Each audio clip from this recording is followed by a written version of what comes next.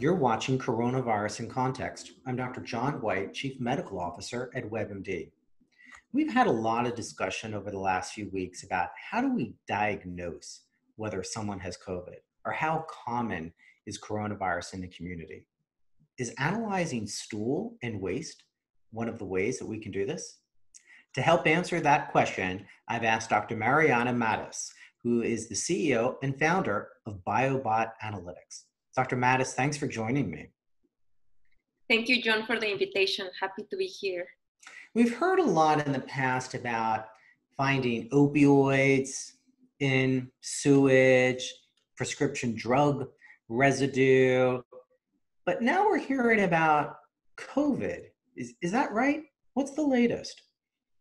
Yeah, so the, the novel coronavirus is shedding stool of infected individuals mm-hmm. and therefore finds its way into the wastewater infrastructure where we can then go out, collect wastewater samples, look for the virus, and understand how many people approximately are infected in that area.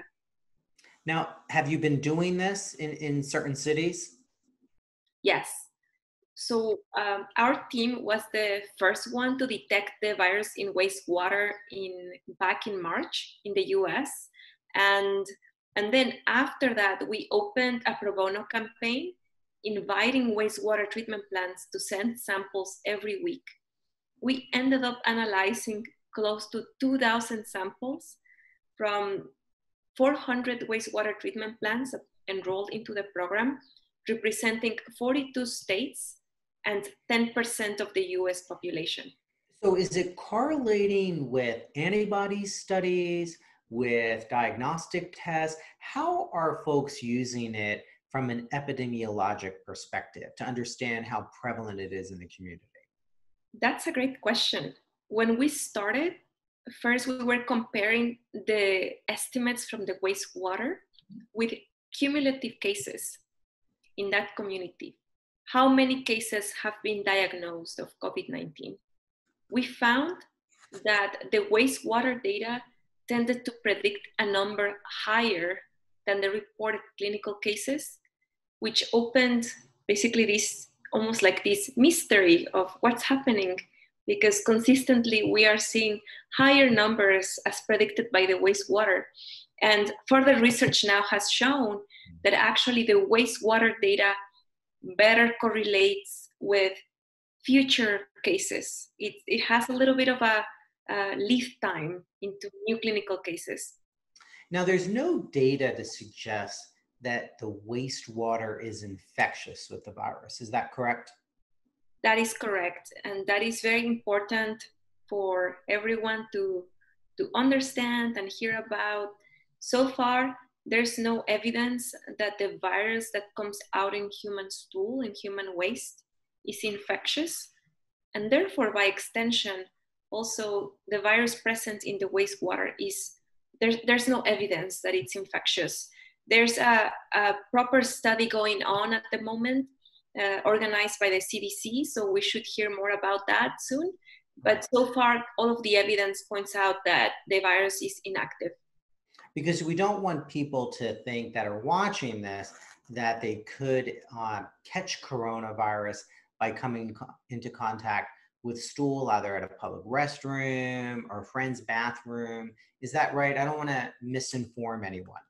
Correct. Yes. For now, we should not make assumptions about that. Of course, you know, toilets and wastewater are still something that. There's other reasons why we should practice good sanitation.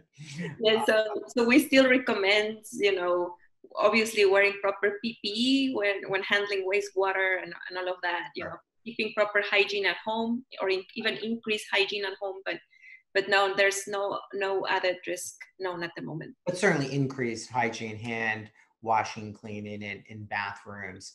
Um, where do you think we'll be six months from now in looking at uh, wastewater? Will it be even more prevalent? Will it be, you know, will rely more on antibody testing? Why do you think this isn't being used more right now?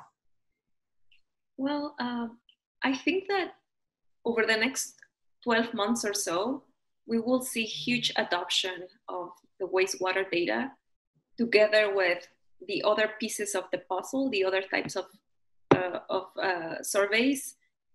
But, uh, you know, really our vision is that every, every city, every state in the country should be looking at wastewater data.